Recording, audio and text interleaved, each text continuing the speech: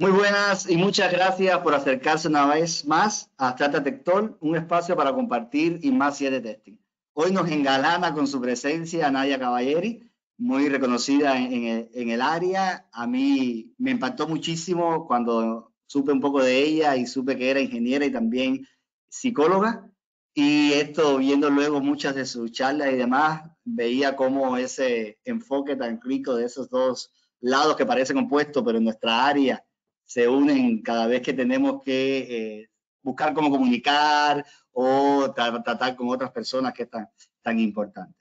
Eh, Nadia hoy nos va a estar hablando sobre cómo empezar en el testing, si hay lugar para todos. Una charla súper importante e interesante. Yo personalmente he invitado a varias eh, personas que sé que están iniciando y tienen estas dudas y también para los que llevamos más tiempo o estamos iniciando, es una charla que nos ayudaría mucho, sobre todo a, como a, hacer ese, ese mapeo de, de cómo vamos y, y, qué nos puede estar faltando. Entonces, Nadia, bienvenida. Muchas gracias por estar. Ya te doy la palabra. Y, y muchas gracias por la invitación. No, un placer para nosotros.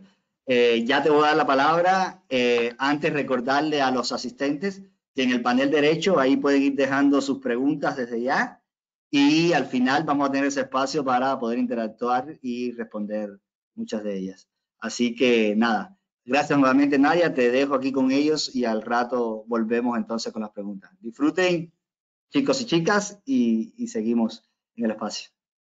Excelente, bueno, muchas gracias por la presentación, muchas gracias a todos los que se están sumando y a todos los que se anotaron para recibir el link para verla en diferido. Eh, es interesante lo, lo, que decía recién Arcadio por un tema de que seguramente hay gente de otras profesiones, entonces por ahí al, final, eh, en un espacio más abierto, podemos charlar de, dónde vienen y cómo eso puede, puede ser útil para, aportar al mundo de sistemas. Bueno, esta charla surge eh, más que nada porque cada vez hay, más profesionales que me preguntan cómo me meto en el mundo del testing. ¿no? Lo, resumo en esta pregunta, pero atrás de esa pregunta hay muchas otras. Eh, ¿Por dónde empiezo? ¿En qué me tengo que capacitar? ¿Cómo accedo al, al contenido? ¿no? Eh, cuál es la bibliografía, cuáles son las fuentes, quiénes son los referentes para seguir, eh, cómo consigo mi primer empleo. Entonces dije, tengo que hablar de esto, ¿no? Eh, evidentemente hay mucha gente a la que voy a estar ayudando si, hablo de esto, porque es un tema que preocupa y también es un tema que ocupa, digamos. seguramente ustedes tengan esa, preocupación de, de, cómo me inserto, pero también nos ocupa a muchos otros de los que estamos del otro lado, ¿no? Donde ya estamos trabajando eh, en sistemas. Eh, Fede Toledo a través de, las contrataciones de, a juniors eh, en abstracta, Pablo Soifer, Matías Pires y yo a través de nuestros canales de YouTube siempre hacemos eh, alusión a, contenidos para juniors o para gente que quiere entrar. Diego Gavilanes había publicado un post hace un tiempo en LinkedIn en relación con todo esto. Entonces, somos todos profesionales que fomentamos que las empresas tomen juniors, ¿sí? O que, o que tratamos de dar un poco de luz a estas preguntas que ustedes suelen tener. Así que más que bienvenidas las preguntas, pueden ir dejándolas ahí como, como decía Arcadio en el chat, que más adelante eh, las vamos a, responder. Bueno, entonces esa es un poco la, motivación para, para dar esta, este webinar. Esta soy yo, antes que de seguir me presento. Eh, amplío un poquito lo, que dijo Arcadio, mi nombre es Nadia Cavaleri, yo soy ingeniera en sistemas y psicóloga, que tal vez es una combinación que no se encuentra mucho en el mundo de Haití, pero que la verdad me resultó muy útil. Eh, trabajo en testing y calidad de software hace más de 16 años. Estoy certificada en diferentes herramientas y metodologías que, pueden ver ahí en, la slide. Me encanta dar eh, conferencias y compartir conocimientos Ahora por la pandemia son todas eh, online, pero he tenido la posibilidad de, pasar por diferentes países, Alemania, España, Rumania y, demás. Eh, disfruto mucho de, esto de, compartir con otros en, distintos lugares eh, y también de viajar, ¿no? ya, que, ya que estamos, ya que se puede. me van a, si, si, me siguen en las redes sociales que están abajo al pie de la presentación, van a ver que soy muy activa en lo que es compartir conocimiento. escribo artículos, algunos ebooks, tengo un canal de YouTube, así que los invito a sumarse al canal de YouTube. Justo ayer publiqué que habíamos llegado a los 4.000 suscriptores. Ahí hablo solo de testing y calidad de software en español. en videos cortitos, ¿sí? La idea es no aburrirlos, eh, entonces eh, hago videos cortitos para, con temas concretos, también por si quieren ver algún tema en particular, eh, y la mayoría de los contenidos suelen estar en inglés para facilitarles esa, esa tarea. ¿Y qué más? No sé, a nivel personal, me encanta hacer deportes, me encanta viajar, me encanta el chocolate blanco, nada, y, disfruto mucho de, hacer esto que, también para mí es como un hobby. Bueno, entonces vayamos de, lleno a, la charla, ¿no? Y para eso lo primero que quiero hacer es eh, ponerlos en, contexto de cómo anda el mercado laboral de Haití. Entonces, lo que hice fue buscar algunos titulares, ¿no? Algunos ejemplos que fueran esclarecedores en relación a, bueno, cómo estamos, ¿no? En relación a, los profesionales en Haití. Y eh, acá hay algunos titulares Fíjense que el primero dice el otro déficit, eso es porque es un titular de, Argentina, yo soy de Argentina, no lo dije eso, y, acá tenemos muchos déficits, como país. Eh, entonces, por eso habla del otro déficit. ¿Cuál es el otro déficit? Bueno, faltan ingenieros, faltan graduados en sistemas, y cada año quedan 5.000 puestos sin cubrir, ¿no? Siete de cada diez industrias tienen dificultades para reclutar, y yo agregaría para retener, una vez que, conseguimos a esas personas, a estos técnicos y estos ingenieros. Abajo a la izquierda eh, hay un, caso de Santander e IBM, ¿sí? que otorgan mil becas a estudiantes para poder cubrir esos puestos. Fíjense que estamos hablando de una industria donde te pagan por estudiar, ¿sí? básicamente es eso lo que quiere decir, ¿sí? o si no, puedes estudiar gratis, ¿no? se puede leer de esa otra manera. Y a la derecha dice que egresan 8.000 ingenieros por año, que uno diría, uh, qué bueno, egresan 8.000 ingenieros por año. Sí, es bueno, pero fíjense que si, se compara con otras carreras como sociales, ¿no? Hay 34.000 egresados por año de sociales versus los 8.000 ingenieros, ¿no? Entonces uno ahí se da cuenta, mirándolo o contrastándolo contra otras carreras, que es muy poco, Eh, en otras carreras como psicología o abogacía, que tienen un montón de graduados y menos demanda. Esto así como, como general, ¿no? Como leyendo los titulares de los diarios. Pero si nos acercamos un poquito más a la, realidad, eh, con ese fin, el otro día hice un, vivo en mi canal de YouTube donde ustedes me contaban un poco. Esta charla la, armé exclusivamente para este webinar de, Abstracta. Hay otras charlas que tengo que las voy repitiendo en distintos lugares, pero bueno, acá quería innovar y dije, vamos a armar una charla nueva. Y, en ese afán por armar esta charla nueva, hice un vivo con los seguidores de mi canal para que me cuenten un poco, bueno, cuáles eran las dificultades, analizamos algunas búsquedas laborales, tiramos algunas ideas o algunas alternativas, alguno que otro tiró alguna, eh, algo que les funcionó. Eh, entonces, bueno, les puede servir también ir a, ver ese contenido, ¿no? Eh, entonces, nada, ese era como otro pasito para acercarme a, esta, a esta realidad y, ver y, seguir sondeando. Eh, eh, eh, si seguimos en contacto con, esta realidad para ver qué es lo que pasa, también me metí en la página de Abstracta, en la parte de Careers, y veo que hay búsquedas abiertas para testing, ¿no? E incluso hay una parte que se llama el trabajo de tus sueños. Y dice que siempre están buscando candidatos, ¿no? Que si quieren sumarse, envíen su CV. Y remarco esto de siempre están buscando candidatos, ¿no? las empresas siempre están buscando candidatos porque falta gente, faltan profesionales. Pero ¿qué pasa? Fíjense cuáles son las búsquedas que están abiertas. ¿No? Por un lado hay testers con inglés, vamos a hablar de la importancia del inglés, ¿no? Además, en la descripción, entran a la, descripción de la primera búsqueda, van a ver que dice que tiene que tener experiencia en pruebas funcionales, o sea, ya, está, ya estamos excluyendo a los juniors, eh, al menos en ese puesto, ¿no? Eh, después está buscando un líder, que un líder no es alguien que recién empieza. Y también hay una búsqueda de un trainee para empezar a hacer testing técnico. ¿no? Si entran en la búsqueda van a ver que dicen que tienen que ser estudiantes de IT y conocer al menos un lenguaje de programación. Entonces, fíjense que, está bueno, por ejemplo, que haya oportunidades para los juniors, ¿sí? porque esta es una oportunidad para un junior. Pero ¿qué pasa? Hay que tener ciertos conocimientos técnicos, ¿sí? No es soy abogado, eh, listo, decido cambiar de un día para el otro y me meto como trainee. O sea, puedes entrar, pero antes te vas a tener que capacitar para poder postularte en esa búsqueda de trainee. Veamos qué pasa cuando eh, Abstracta dijo, ok, vamos a contratar un junior. ¿no? Fede nos contaba por LinkedIn que estaban buscando cinco testers sin experiencia y cuatro con poca experiencia, ¿no? Ya vamos a ver que, hay varias empresas que hacen esto, ¿no? Tomar gente que no tiene experiencia, los capacitan, invierten en, las personas y, bueno, les dan su primera oportunidad laboral. ¿Y qué pasó? A las 24 horas, Fede vino con un update y, nos contaba que esa publicación había estado on fire, ¿no? Que, había recibido más de mil postulaciones en un día. Que en Haití eso es algo como muy loco. O sea, pregúntenle a sus amigos recruiters cuántas veces les pasó que recibieron mil CVs en un día eh, de una posición de Haití. O sea, nunca. Siempre están persiguiendo a las personas para ofrecerles alguna eh, propuesta tentadora, ¿no?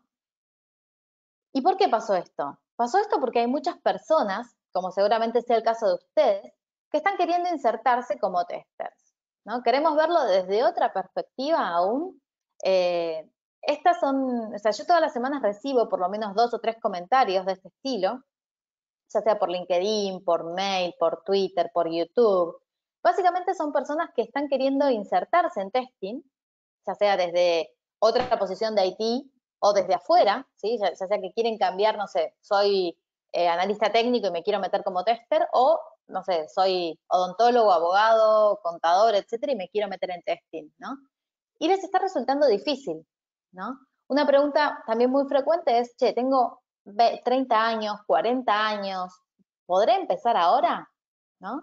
Eh, y fíjense la, preocupación también, ¿no? Porque me escriben los sábados, me escriben los lunes eh, a la noche bien tarde, después de trabajar. Entonces, ¿cuál es la síntesis de todo esto? de, todo este primer capítulo, que era ponerlos en contexto. Bueno, que en Haití no se necesitan eh, profesionales, ¿sí? Lo que, hay un montón de puestos sin cubrir, pero particularmente lo que se necesitan no son profesionales, sino expertos. Porque hay muchos juniors dando vueltas, ¿no? Y las empresas tienen posiciones abiertas de semi-senior, senior o líderes en general. Pero bueno, con esto no los quiero desanimar, simplemente quiero describir la situación actual, eh, aunque eso sea un shock de realidad, puede ser que para alguno eh, lo tome así, ¿no? Eh, porque seguramente, ¿por qué quieren meterse en testing o insertarse en testing? Porque seguramente alguien les dijo, venía testing que está bueno, venía testing que no es tan difícil insertarse, venía testing que hay un montón de empleo, ¿no? y es así, pero no tanto, ¿no? Pero de nuevo, no, se desanimen porque el experto alguna vez fue junior, entonces, en, lo que queda de esta charla, vamos a hablar un poco de cómo ustedes como juniors pueden insertarse en IT o ser más competitivos que otros juniors que por ahí no vieron este webinar, por ejemplo. Entonces, eh, vamos a, dar un poquito de, herramientas para eso. Entonces, ante la pregunta, ¿hay lugar o no hay lugar? La respuesta sería sí, hay lugar, pero lo van a tener que buscar. ¿sí? No les van a llover las oportunidades laborales como cuando uno ya está dentro. ¿sí? Eh, entonces, la, siguiente pregunta sería, bueno, ¿y a dónde lo busco? ¿no? ¿Dónde, busco? Y la respuesta típica es en los portales de empleo. También en, la red social por excelencia, ¿no? Que, es LinkedIn. Si están estudiando, eh, también pueden buscar en la bolsa de trabajo de la facultad. Bueno, ¿y qué busco en esos portales? Bueno, pueden buscar puestos de testing, de analista de testing, de tester junior, de trainee, también pueden buscar por las palabras claves QA o QC, ¿sí? que significan Quality Assurance o Quality Control. Eh, esas son algunas palabras claves. Van a ver en mis videos y, hay mucha gente, digamos, con esta mirada que dice, no, para QA QC no es lo mismo, hay una diferencia, tampoco es lo mismo que testing, y de hecho tengo un video que explica cuáles son estas diferencias, pero a los fines de buscar un trabajo no se detengan en esa diferencia porque muchos recruiters o muchas empresas eh, no hacen esa, distinción, digamos, y tal vez aplican a un, rol de QA y terminan haciendo testing, ¿sí? Porque por desconocimiento, porque siempre heredaron el nombre de, digamos, de ese rol y nunca lo, cambiaron, por lo que fuera, apliquen también a las búsquedas de QA que van a terminar haciendo testing. Eh, hay algo que también está bueno y les puede servir, es que hay algunas empresas que tienen programas para pasantes, ¿sí? y esos programas en general no los vi tanto como anuncios de empleos eh, en LinkedIn, ¿sí? sino los vi más como anuncios en el, digamos, en el muro de LinkedIn eh, que hacen los recruiters. ¿no? Entonces, algunos se llaman escuelitas, algunos se llaman programas de entrenamiento intensivo o entrenamientos, y, eh, o sea, si bien tienen distintos nombres, lo, que hacen es juntar a un grupo de personas con ciertas características, las capacitan por un periodo de tiempo, ¿sí? Algunas son rentadas, o sea, algunas les pagan por eso, a otros eh, le pagan, digamos, simplemente el tiempo que estuvieron, y otras son gratuitas, o sea, cualquiera sirve, en definitiva, y aquellos que se desempeñan mejor quedan seleccionados para formar parte de la empresa, digamos, quedan contratados por esa empresa. Entonces, esta capacitación, eh, como, como, ustedes están poniendo parte del tiempo, eh, puede ser rentada o no, pero en definitiva también sería una inversión de ustedes sentarse y capacitarse y participar de estos programas porque tienen la oportunidad de quedar seleccionados para trabajar con estas empresas. Otra opción que tienen es anotarse también para estudiar carreras cortas. Hay carreras cortas esponsoreadas por empresas, ¿sí? Hay empresas que apoyan determinadas carreras privadas, no lo van a encontrar en general en, las universidades públicas, y de hecho los temarios están en función de las necesidades de estas empresas. ¿Sí? Es como un win-win, o sea, ellos te apoyan la carrera, pero ok, capacitame a la gente en lo que yo necesito. Y cuando terminan estas, estas carreras, o incluso antes, ¿no? A veces están ahí esperándote a ver que, termines o, viendo tu desempeño a lo largo del curso, eh, están, eh, te, terminan contratando, ¿no? Acá la diferencia es que vos pagás por estudiar, ¿no? Vos pagás esa carrera, e, es al revés de los que les contaba antes, pero bueno, también sirve, o sea, porque en definitiva ustedes están capacitándose y, no estaría mal que paguen por ello. Después también hay programas sociales, cada uno apoyará a, a distintos colectivos, llamémosle. Eh, por ejemplo, acá en Argentina estaba el programa eh, 111.000 que capacitaba en programación a un montón de, beneficiarios. Eh, si buscan los proyectos Nahual o la Fundación Cuicuy o Reconvertite o el Plan Azurduy, ¿no? Contemplan distintas poblaciones a las que quieren llegar y en función de eso arman esos programas. Eh, ya sea a personas que viven en, barrios, en barrios vulnerables, a mujeres para reducir la brecha digital, a madres para promover esa inserción en, los trabajos.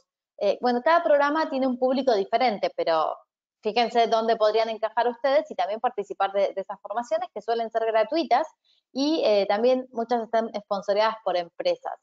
Eh, entonces también terminarían haciendo esa articulación, eh, ya sea una pasantía o empezando a trabajar ¿sí? para, para esa empresa.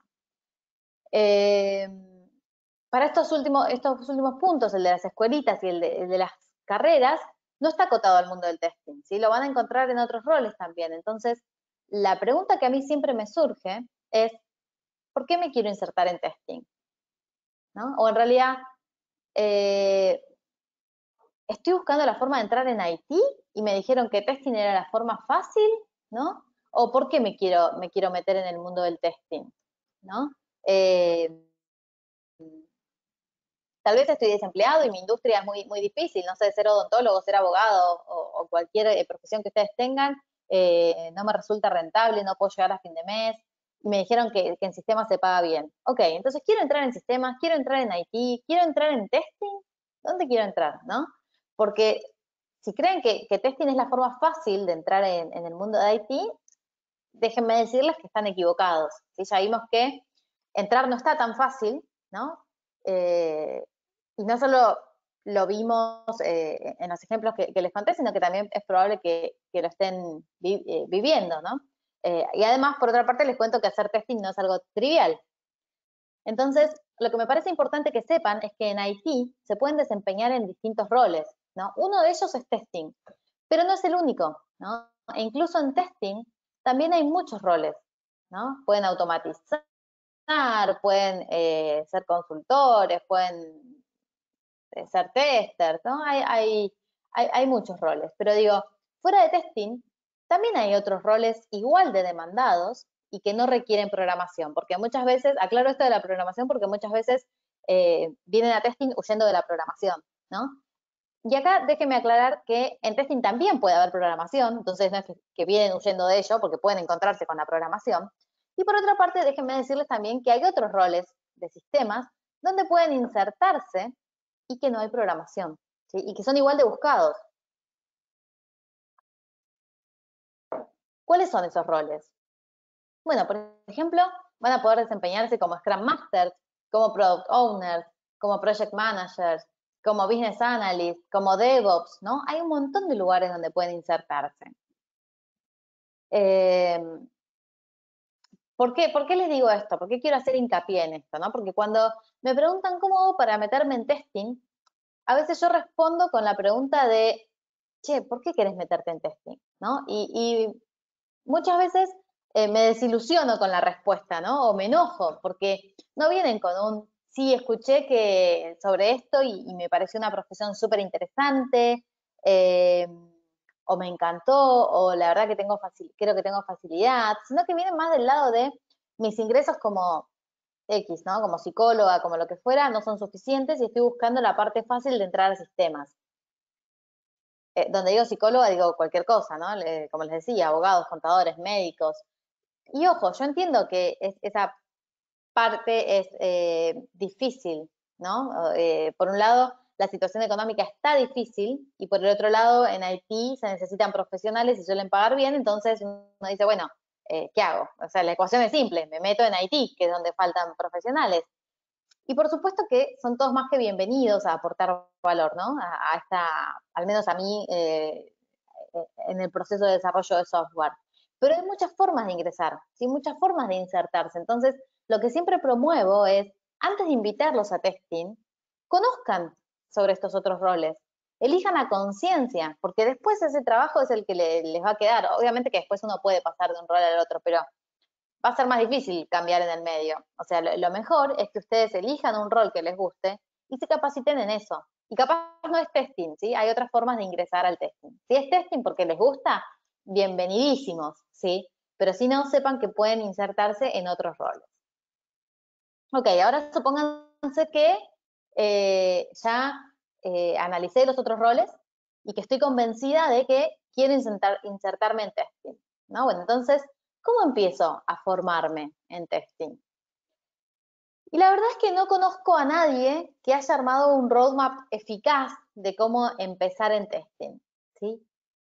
También creo que nadie podría hacerlo, porque no hay una única forma de, de empezar en testing, ¿no? Hay muchas puntas tantas como testers haya prácticamente. O sea, si le preguntan a cada uno de, los testers cómo empezaron, en qué se fueron formando, y seguramente la respuesta va a ser diferente. Entonces, digo, bueno, vayamos al revés. Eh, imagínense como una caja de herramientas que contiene la caja, las herramientas que cada uno de ustedes ya tiene, ¿sí? Porque cada uno de ustedes ya viene con un background profesional, aunque tengan 18 que estén saliendo del colegio, o sea, ya hay un montón de cosas que ustedes por haber vivido esos 18 años, tienen. Entonces, tienen un montón de, sus herramientas en esa cajita. Ok, ¿con qué habría que llenar esa cajita? ¿Qué cosas habría que ponerle, independientemente del orden? Entonces, lo dividí en las cuatro secciones que ustedes pueden ver ahí, ¿no? Lo que es excluyente, que tienen que, saber sobre testing, eh, lo que es deseable, ¿sí? Que sepan, los conocimientos técnicos que eh, eh, sería como lo deseable que sepan sobre testing y lo deseable que sepan sobre otras cosas técnicas. Y por otro lado, las mal llamadas habilidades blandas o soft skills, ¿sí? Eh, que ahí no hice la diferencia entre excluyentes y deseables, ¿sí? Quedaron todas ahí metidas en, una única bolsa. Y para completar esto, lo que hice fue, eh, más que nada para completar el primer cuadrante, eh, hice una publicación de LinkedIn donde cuando estaba preparando esta charla también les pregunté al público, a, mi red de contactos, eh, bueno, ¿ustedes qué piensan que tiene que saber un, junior al momento de insertarse en IT? Bueno, y ahí había como muchas respuestas, qué sé yo. Yo seleccioné las que para mí eran, eh, digamos, las que estaban más alineadas a, lo que yo pensaba y lo complementé con algunas cosas que, que me fueron diciendo, ¿no? Entonces, lo excluyente en testing, ¿qué sería? Sería que sepan la teoría, ¿sí? por lo menos que sepan qué es testing, ¿no? A dónde se están metiendo, y de ahí en adelante algunas otras cositas como, bueno, ¿qué es un caso de prueba? ¿Qué es un escenario? Eh, ¿Por qué hacemos testing? ¿Qué tipo de pruebas hay? Eh, ¿Qué niveles hay? ¿Qué es un defecto? ¿Qué es una técnica de, de pruebas? Etcétera, etcétera, etcétera, ¿no? Aunque sea que lo sepan a nivel teórico, y bueno, y también algo excluyente, que no sabía muy bien cómo plasmarlo, y, pero que es importante que tengan, es un buen manejo de herramientas informáticas, ¿no? Es lo que puse ahí como computer friendly. Eh, que sepa, no sé, conectarse a internet, usar utilitarios, herramientas básicas como capturar una pantalla, navegar por, un browser, eh, poder eh, sumarse a un Zoom y demás, que tal, vez parecen cosas como muy obvias, pero yo doy cursos de introducción al testing y muchas personas me dicen, ah, pero no me dijiste, decía sin requerimientos previos, sin conocimientos previos, no me dijiste que tenía que saber esto. Bueno, está bien, eso es una, una mejora que incorporé, ¿no? Porque eh, la verdad que para, mí era como obvio y en realidad no lo era. Así que no está de más aclararlo. En relación a lo deseable en testing, por un lado es el saber hacer, ¿no? Eh, si además de tener la teoría saben hacer un caso de prueba, bueno, mejor. Si saben reportar un defecto, mejor, ¿no?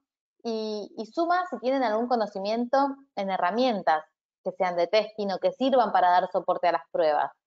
Las herramientas de, testing que primero se aprende suelen ser los issue trackers, ¿no?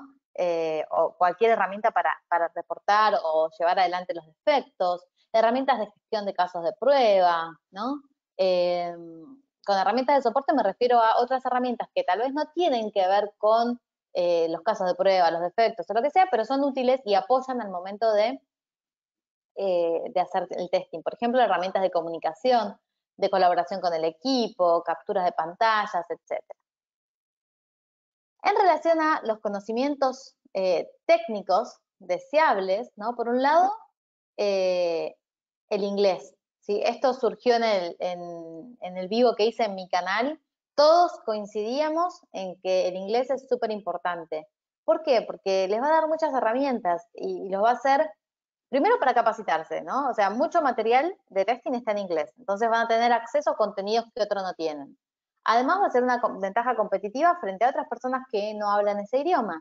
Y además, ahora en pandemia, donde estamos todos trabajando, o la mayoría trabajando desde nuestras casas, eso nos permite tener contrataciones desde afuera o contrataciones locales, pero para proyectos internacionales, ¿no? Entonces, eh, es una herramienta súper importante.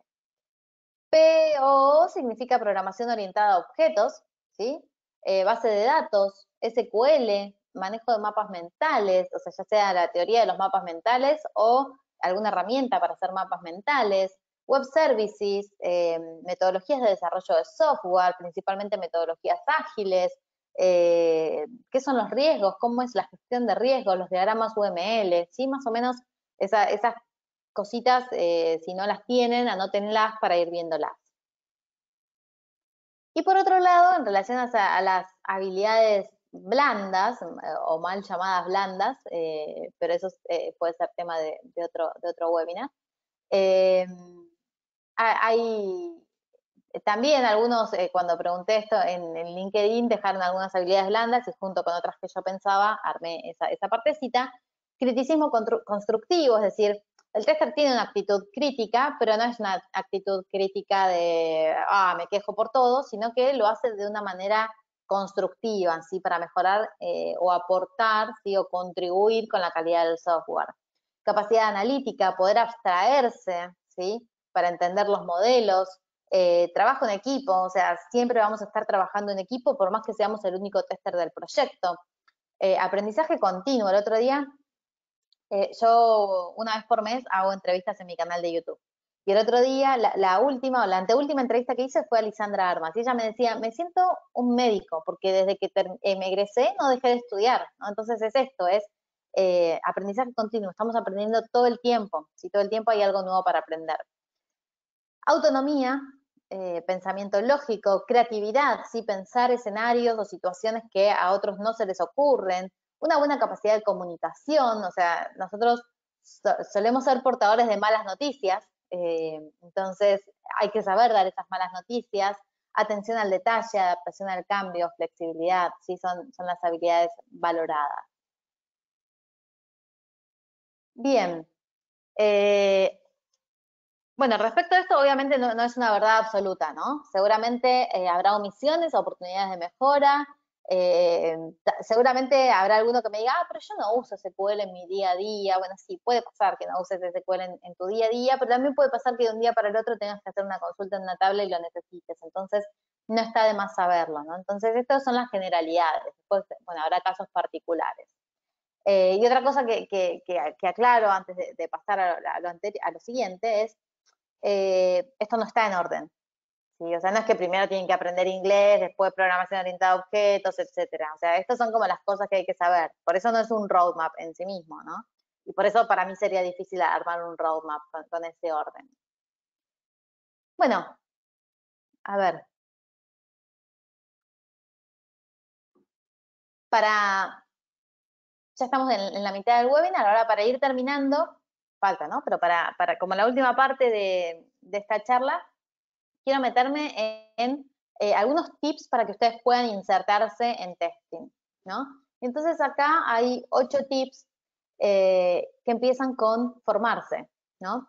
Como les decía, no hay un roadmap que sea la Biblia del tester, ¿no? Eh, ¿Formarse en qué? Y por lo menos en lo que les decía ahí que estaba en la parte de testing excluyente, tiene en ese primer cuadrante, pero también eh, en lo que estaban los otros, ¿no? Les prometí que, les iba a dejar algunos recursos y bueno, acá, acá tienen, por ejemplo, libros, o sea, el, el sílabus del ISTQB. Eh, para mí es un poco escueto en cuanto a la explicación, pero es un buen índice de las cosas que tendrían que saber el libro de Fede Toledo, que es Introducción a las pruebas de sistemas de información, que se lo pueden descargar de manera gratuita. Y acá están todos los links, así que después se van a poder descargar esta, esta presentación y van a tener todos los links a todo esto que les estoy diciendo. Eh, el libro de Agile Testing de Lisa Christine y Janet Gregory. Después hay canales de YouTube, ¿sí? Bueno, en mi canal yo les decía, todos los miércoles subo un nuevo video sobre, sobre testing y calidad de software. Está el canal de Matías de Testing para Todos, de, de de Quality Stream, que está más dedicado a automatización. El de Pablo Soifer también está dedicado a la automatización. Entonces, si se quieren meter en automation, esos últimos dos canales eh, son, son muy buenos. Em, hay un, grupo de Telegram que es Undertest, que es muy activo y yo estoy, pero la verdad es que es tan activo que no lo puedo seguir. Además, eh, no, no uso mucho Telegram, pero pero las veces que he entrado eh, tenían debates interesantes y siempre hay alguien que pregunta y otro que, ayuda y responde, se arma una linda comunidad. En, Facebook tienen QA Minds Community, que es una, comunidad de México. Eh, en LinkedIn están Testing Baires, de Gustavo Terrera. Eh, después un, grupo de, testing de España, ¿no? Hay, hay distintos lugares donde pueden aprender ¿no? y, seguir debates. Y este, esta formación tiene que ser continua, si no es, eh, listo, leí el libro o listo, me certifiqué, sino que permanentemente tenemos que estar aprendiendo. Eh, ahora que hablamos de integración continua, de deploy continuo, mejora continua, bueno, hablemos de formación continua también, ¿sí? porque esto viene, viene para largo. Eh, si, si, no son permeables o si no tienen ganas de estar capacitándose todo el tiempo, replantéense la idea de, estar en IT, ¿sí? porque es un mundo donde todo el tiempo hay cosas nuevas. Eh, ¿Y cómo nos mantenemos actualizados? Bueno, leyendo blogs, ¿no? Eh, al principio dije, bueno, les voy a dejar una, lista de, blogs, ¿no? Para, para que lean. Pero después dije, no, mejor les dejo la lista de los referentes, de los autores, ¿sí? Que, esta lista se, la robé o la tomé prestada de, Diego Gavilanes, del post que les contaba al principio, em, que hay un montón de, referentes que él incluyó eh, y, que está bueno seguirlos porque comparten contenidos, muchos son en inglés de los que están ahí, pero hay muchos también que son en español. Eh, Juliana, Claudia, eh, así estoy leyendo rápido, ¿no? Tatiana, Lisandra, Leandro, yo, eh, Fede y demás. Em, y está bueno porque, porque compartimos eh, contenido em, y entonces uno se, puede ir dando cuenta hacia dónde va la industria, eh, en qué andan, ¿sí? Em, ahí también les dejé las conferencias y los webinars y las distintas comunidades que hay. Argentesting acá en Argentina, Testing UDI en Uruguay, Testing en Chile, en Bolivia, Testing Costa Rica, Northern Quality, que es una comunidad virtual de España, César, que es la de Brasil, Quamines, que es la de México, o sea, hay un montón de material gratuito, ¿sí? Para, aprender. Y también después eh, está el hecho de, bueno, estructurar un poco todo este material que tenemos. Entonces, para estructurar ese, material y tener los conocimientos básicos, es que les recomendaba antes el sílabus y, el libro de Fede, y si no, también hacer alguno de los cursos que, que andan dando vueltas. Bueno, por otro lado, el tercer tip es ganar experiencia, ¿sí? Desde casa.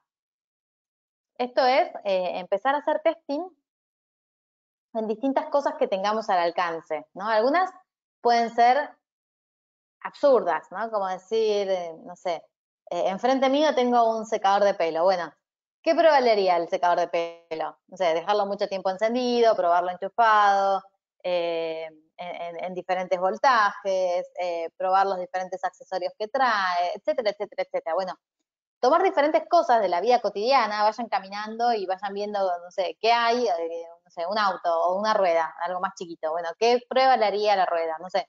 Entonces vayan pensando en eso, porque eso lo que hace es trabajar el músculo de la creatividad, ¿no? Y, eso va a hacer que después eh, esa creatividad la puedan aplicar a otras cosas como el testing de un sistema de software.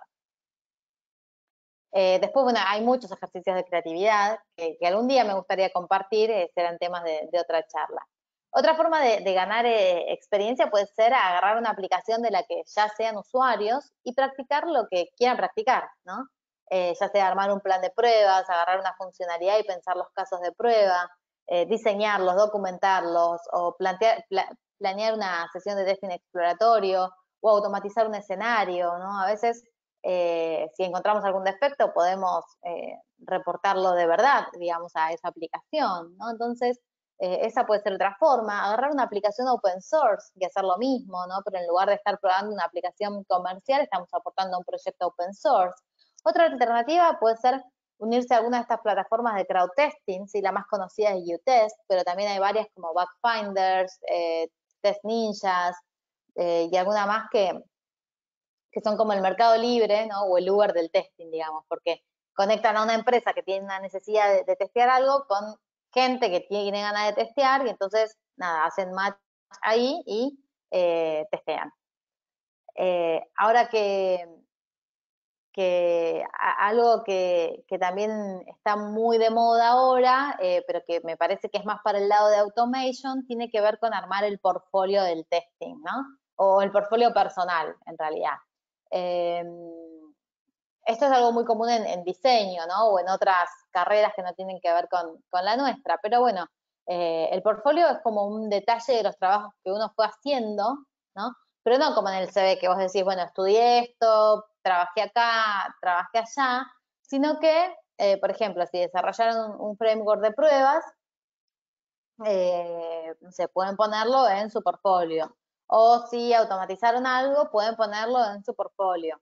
Entonces es como una, una evidencia eh, de, que, de, que, saben hacer eso porque lo hicieron, digamos, ¿no? Es como compartir tu, no sé, tu repositorio de, de Git. Otro consejo es, mantengan el perfil actualizado de LinkedIn, si es la red profesional más popular. Eh, así que seguramente es eh, donde más busquen los recruiters, eh, andan por ahí todo el tiempo buscando gente, ¿no? Si quieren ser más internacionales, completen su CV en inglés, ya eso también de alguna manera es una muestra de que dominan el idioma. Pidan recomendaciones a sus colegas en LinkedIn para completar ese perfil, ¿sí? Con una opinión externa, con alguien que hayan trabajado antes. También eh, relacionado con, LinkedIn utilicen la sección de búsqueda de empleo, ¿sí? configuren las alertas para recibir en, sus correos las nuevas eh, publicaciones que haya. Em, como les decía, eh, si bien sabemos que hay una diferencia entre QA, QC y testing, apliquen en todas las búsquedas de, ese estilo, ¿sí? lo cierto es que las empresas no hacen esa diferencia. Em, hay una opción de LinkedIn también que permite mostrar que estamos buscando empleo. Eso puede ser un poco controversial, sí, algunos dicen que no aporta nada porque el que contrata no se fija en, si está buscando empleo o no, sino que se fija en la experiencia. y otros dicen que es una buena forma de decirle a los recruiters, che, mira, yo estoy interesado en eh, recibir propuestas. Por otra parte, eh, participar en comunidades es otro tip. Eh, ya en los tips 1 y 2 les decía que hay una amplia lista de comunidades a las que se pueden unir, ¿no? En, en esas slides me refería a que consuman esos contenidos, pero en esta slide me gustaría invitarlos a que participen de manera activa, ¿sí? que compartan contenido de interés, que comenten sus opiniones, que generen conversaciones con las personas que, hacen estos posteos. Todo esto les va a dar visibilidad y les va a permitir generar contactos. ¿sí? Tener una amplia red de contactos es fundamental. Eh, de hecho, ese podría ser como un tip aparte, ¿no? Ampliar su, red de contactos. Y bueno, cuando se pueda volver a, la normalidad, participen de manera presencial en los congresos, porque eso les va a dar eh, un sinfín de posibilidades y algo que no se encuentra en la virtualidad. Prepárense para las entrevistas laborales. ¿Sí? En, pandemia saqué una nueva sección en mi canal de YouTube para ayudar a los que estaban buscando trabajo eh, con las preguntas y respuestas típicas de, las entrevistas laborales. Eso también les puede servir. Eh, como les digo en el video introductorio a, esa sección, eh, no repitan como lorito la respuesta, ¿sí? Vayan entrenados a las entrevistas, practíquenlo, pero la idea no es que se lo sepan de, memoria, que digan exactamente lo que uno dice en el video, lo que dice la definición, pero bueno, nada, váyanse preparados para tener un discurso al momento de, eh, estar en, en, esa situación de que en general uno se pone nervioso y a veces se le pone la mente en blanco. Y también en relación a las entrevistas sean sinceros, ¿sí? reconozcan lo que saben y lo que no saben, o sea, no se avergüencen de lo que no saben, porque lo que no se sabe se aprende, ¿sí? Y si dicen yo sé algo y después cuando se lo piden no lo saben, van a quedar muy mal, ¿no? Sus jefes se van a molestar porque le dijeron que lo sabían. Entonces, lo mejor es ser sinceros. Eso se valora aparte. Eh, y también relacionado con las entrevistas, pidan feedback. ¿sí? En aquellas en las que no quedaron, sí, pregunten por, qué, ¿no? ¿Qué, pasó? ¿En qué puedo mejorar? ¿no? Esto les va a servir a, ustedes. Y por último, el, último tip tiene que ver con aprovechar la pandemia. Eh, algunos consiguieron tener más tiempo libre porque hay menos actividades para hacer, entonces pueden capacitarse y pueden practicar. Además, el trabajo remoto provocó que eh, las empresas contrataran gente remota, y entonces eso les permite a quienes estén por ahí en un pueblito conseguir un empleo, o a los que estén en una ciudad que conseguir un empleo en, otra ciudad, ¿no? Entonces, eh, quienes estén en, los lugares más recónditos ahora pueden, pueden conseguir un, empleo sin trasladarse, ¿no? Ahora eh, es más importante el acceso a Internet que el acceso a un medio de transporte. Entonces, bueno, en resumen, eh, esta es una industria en donde hay mucha demanda de profesionales, los sueldos suelen estar por arriba de la media, se puede trabajar remoto, las empresas suelen tener un montón de beneficios, ¿no? Pero cuesta conseguir un primer empleo, ¿sí? Si, si no son jóvenes profesionales, ¿no? Si, si no están dando sus primeros pasos en, en, la vida laboral. Eh, pero bueno, con eso no, no, los, como les dije, no los quiero desmotivar porque hay un montón de oportunidades y si ustedes se capacitan y perseveran, eh, van, a, van a tener el, lugar, ¿sí? Entonces, eh, espero que les haya servido esta, esta información. Espero haber aportado mi granito de arena, a, que cada uno de ustedes mejore esa inserción en Haití. Y si alguno de ustedes consigue algo, ¿sí? ya sea eh, implementar un tip, darse cuenta que prefiere migrar hacia otro rol o incluso consigue un trabajo, listo, yo ya, ya me doy por hecha, ¿no? Con que se hayan llevado un poquito de esta charla y haberlos ayudado un poquito en esa búsqueda laboral, yo ya estoy satisfecha. Así que, bueno, como siempre, quedo, quedo disponible para las preguntas que puedan hacer o los comentarios que tengan. Ahí en las slides tienen mis datos de contacto. Eh, esta slide está disponible, está publicada en, ahí en la URL que aparece ahí, de nadiacavaleri.com.ar eh, barra, barra charlas, así que se la pueden descargar. Y bueno, nos vemos por las redes y por YouTube. Muchísimas gracias, Nadia. Yo me sumo a ese sentimiento de que si con la charla ayudamos a alguien a, decidirse, ¿no? O, con uno de estos tips lograr ese empleo que sueña y, se está esforzando, pues igual nos damos por, por, por recibidos y por, por agradecido en este momento por resuelto. Tal cual, es un pequeño aporte, sí. Seguro, hay algunas preguntas y todavía están a tiempo. Si quieren sumarse, vamos, vamos leyendo. Por ejemplo, aquí nos dicen, se me mueven porque están sumando, nos dicen, hola Nadia. Eh, bueno, hay dos relacionadas y te las voy medio que a resumir, ¿no? Dice esta, hola a todas. Una consulta para Nadia. Eh, ¿Cuánto tiempo piensa que se necesita estudiar, ejemplo, uno o dos años aproximadamente para comenzar a trabajar? Gracias. Y la otra relacionada venía como, ¿cuándo sé que estoy listo para comenzar a buscar trabajo? Para mí no, no hay eh, un, tiempo porque, el, o sea, el tiempo es de cada uno, ¿no? Capaz alguien tiene más tiempo para dedicarle en un día y hay otro que tiene menos tiempo para dedicarle, entonces que sea un año o dos años estudiando no nos dice nada. Lo mismo con la facilidad de aprendizaje que tenga cada uno. Lo importante es que ustedes se sientan seguros, ¿sí? Y, y cuando me doy cuenta que estoy listo, la verdad es que yo les diría, lean, estudien, aprendan y, no tengan miedo de, postularse a búsquedas de juniors, porque el que está buscando un junior sabe que hay un montón de cosas que ustedes no van a saber. Entonces, eh, es importante que, quede claro eso, ¿no? Que ustedes tengan claro que no van a saber un montón de cosas y el otro también ya sabe que ustedes no van a saber un montón de cosas. Entonces, que, en ese sentido no, no se exijan mucho. Eh, sí que sepan los conceptos fundamentales que les decía ahí cuando les planteaba los cuatro cuadrantes, pero, el, eh, digamos, sintetizando, el tiempo de cada uno, el tiempo que les lleve a aprender eso, eh, seguramente será, será en, menos de un año, ¿sí?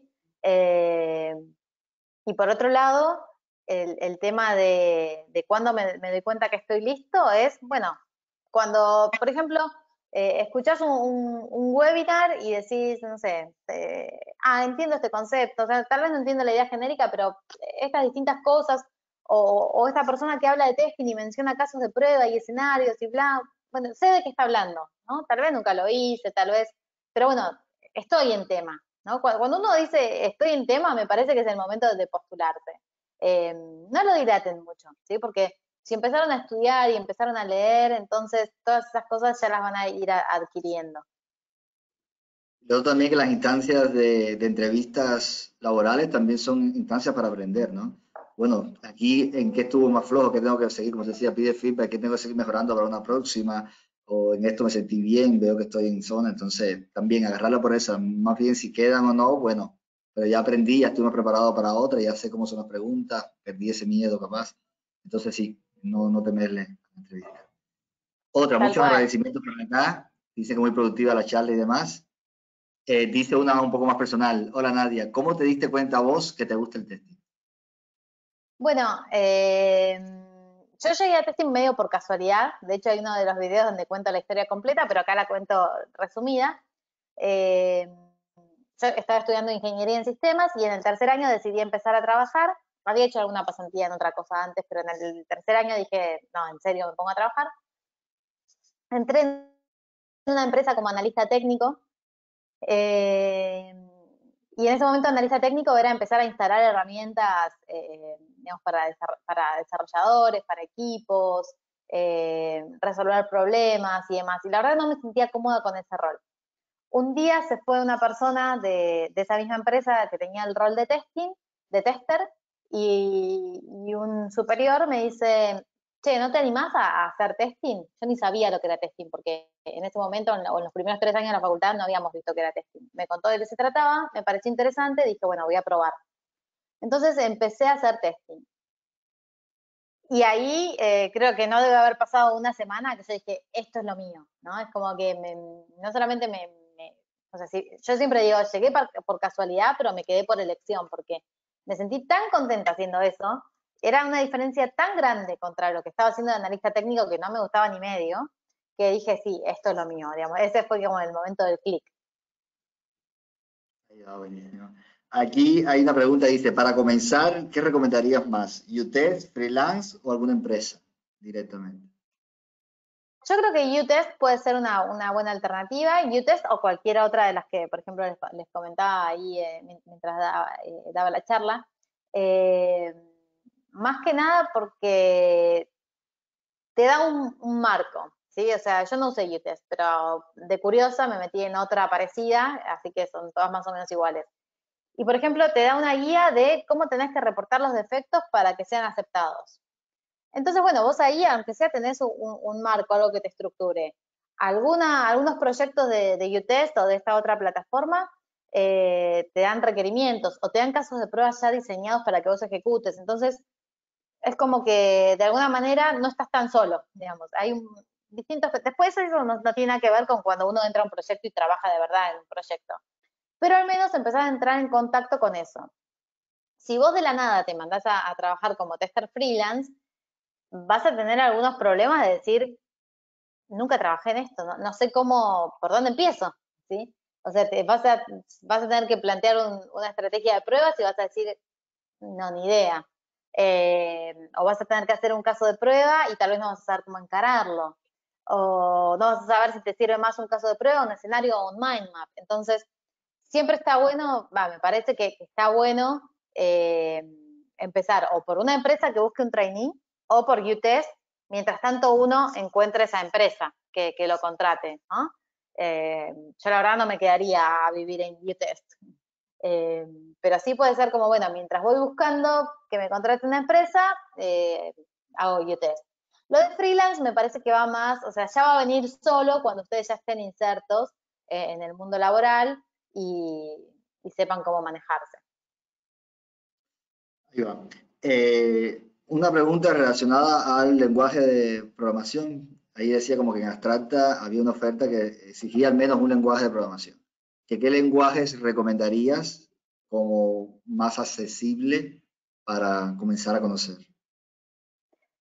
Mira, hay, o sea, hay muchos lenguajes y lo que me parece es que lo importante es aprender antes que el lenguaje, eh, tal vez programación orientada a objetos, ¿no? Que es como toda la teoría que hay atrás de la programación. Eh, de un paradigma en particular, pero es el paradigma en general más utilizado. Entonces, primero aprender eso.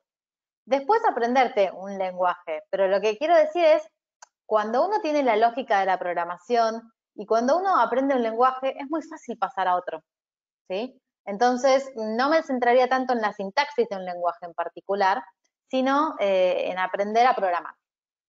Eh, pero bueno, aprender a programar hay que aprender a programar con algo. Entonces, bueno, ¿con qué aprendo? Bueno, Python me parece que puede ser una, buena opción eh, porque está siendo muy buscado y porque además dentro de los lenguajes que hay es bastante sencillo. Me, parece que esa, que esa puede ser una, una buena opción. Aquí nos pregunta qué sería QC. Te escuché cortado, no sé si es mi conexión a internet. Sí, también te repetimos. Alguien preguntaba eh, qué sería QC. Viste que mencionabas la diferencia ah, que podría haber entre QA, QC y tester. Incluso QE también anda en la vuelta. Súper rapidísimo sería como que vos tenés eh, distintos aspectos de, de, lo que es calidad, ¿no? Entonces tenés algo que es hay un montón de Q que, como vos decías, que yo no lo dije, pero tenés como Quality Management, que es todo lo que se encarga de la gestión completa de la calidad, y de ahí, imagínense como, que, como un organigrama que dependen. QP, que es Quality Planning, QA, que es Quality Assurance, QC, que es Quality Control, y QI, que es Quality Improvement. Eh, eh, particularmente haciendo doble clic, digamos, en QA y QC, QA es el aseguramiento de la calidad, que lo que se hace es centrarse en el proceso de, construcción, ¿no? Y QC, que se eh, enfoca en la calidad del producto que se construye.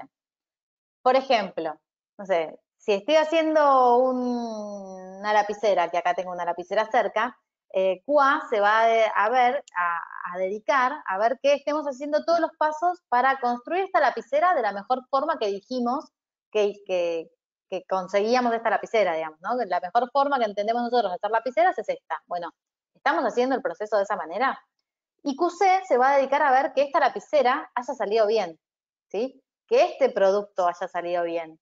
Eh, dentro de, ese QC hay distintas formas de hacerlo. Pueden ser a través de revisiones, de inspecciones, y una de esas formas es testing. Entonces sería como que testing es una partecita de, este quality control. Hay una pregunta aquí interesante. Dice, ¿qué te resultó más difícil de entender? ¿Los sistemas o las personas? Debe ser por esto de ingeniera y, psicóloga, ¿no? Eh, las personas todavía no las, no las comprendo completamente. Eh, y creo que nunca lo voy a llegar a, hacer, ¿no? Porque eh, somos muy particulares. si nos ponemos filósofos, filosóficos, creo que ni nosotros llegamos a conocernos completamente. A, nosotros mismos, ¿no? Entonces es como medio difícil. La, la respuesta sería a las personas. Bueno, y para dar un cierre y agradecerte, lo voy a hacer en la voz de los, de los que pusieron algunos agradecimientos. Y por ejemplo, ahí eh, Carleane Danta decía, muy buena charla para el inicio. Eh, se movió, disculpen. Dice, muy buena charla, para el inicio puedo tener una visión del camino que no es fácil, pero lo importante es empezar. También eh, sumaba ahí Maximiliano Ramírez, Hola Nadia, eh, buenos días a todos. Terminé hace unos días el curso de Abstracta y me encantó. Sigo tu canal y me motiva a seguir aprendiendo. Me encantó la charla, me sacaste muchas dudas porque justo pensaba eh, después del curso cómo seguir. Eh, María Pía Pacheco acaba de decir buenos días, todo fue muy claro. Gracias Nadia por tu tiempo y Abstracta por generar la instancia. Buena jornada para todos. También Mariana se suma diciendo excelente charla, muchas gracias por los tips. Así que eh, muy bien recibida, como esperábamos que fuera. Y se siguen sumando ahí saludos. Eh, extendemos esos saludos, hacemos voces de todos, ¿no? Muy buena, muy clara, en verdad. Eh, estoy seguro que para esas personas que andan buscando esta inserción en testing y en TI también en IT, va a ser muy útil. El video va a quedar publicado posiblemente mismo en el canal de, de YouTube de Abstracta y por supuesto ahí hoy yo estuve medio que revisando también el, el, sitio web que mencionaba Nadia, estaba muy completo con todas las charlas, información, post, entrevistas y cosas que ha participado, así que los recomiendo también muchísimo para que puedan seguir en contacto y puedan seguirla en todo lo que publica, que es siempre muy rico y aprovechable. Entonces, nada, en lo personal igual, muchas gracias Nadia por, el espacio, por venir, tienes las puertas abiertas para cuando quieras volver y que sigas así con el trabajo que haces de eh, ser influencer también ¿no? en el mundo del testing y, llevar eso, tus conocimientos, compartirlos y, ser referente también para tantas personas. Bueno, muchas gracias a vos por la invitación, muchas gracias a Abstracta por generar estos espacios, a todos los que se sumaron, que la verdad me sorprendieron porque eh, pensé que iban a ser re poquitos, de hecho habíamos, dicho, bueno, es la primera vez que lo hacemos de este horario, porque yo más tarde no podía, así que también gracias por, por haberte acoplado, a, amoldado a mis horarios. Eh, y de pronto vi ahí 80 asistentes, dije, wow, buenísimo, así que gracias por, por compartir este espacio conmigo. Y de seguro mucho más, después lo van a, a ver en, la, en, el video, así que, que buenísimo. Más que este público, gracias por estar a todos. Eh, también compartir eh, esta charla para todo el que entendamos que le puede servir, que anda buscando esa oportunidad, esos tips, ese cómo seguir, que seguro va a ser una buena herramienta para eso. Así que nada, muchas gracias, gracias a todos por sumarse nuevamente. Eh, nos seguimos viendo en otro espacio Astrata Tectol. Tenemos para el mes de julio preparado una charla, nos vamos un poco más a lo técnico de Machine Learning y también estamos invitando a los amigos de Peregrinos que van a venir a hablar acerca de también un poco de crecimiento vertical, ¿no? Un poco de esos soft skills que también son necesarios en todas las profesiones y también para la vida. No adelanto mucho, pero ya estén pendientes que vamos a ir publicando estas futuras charlas. Y nada, nos estamos viendo acá para seguir compartiendo y más de, de testing. Gracias, Nadia. Nos seguimos viendo.